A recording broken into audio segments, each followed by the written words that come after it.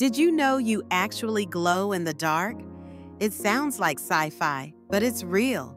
Scientists discovered that the human body emits a very faint light. It's called bioluminescence. Every part of you, from your face to your hands, gives off tiny amounts of visible light. But here's the catch it's about a thousand times weaker than what our eyes can detect. In 2009, researchers in Japan used ultra-sensitive cameras to capture this invisible glow. They found something fascinating. Your face and head glow the brightest. This glow is not the same as body heat or infrared.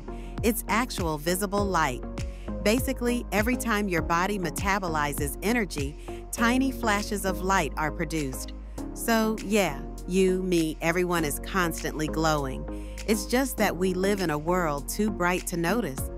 Kind of makes you wonder what else are we missing just because we can't see it?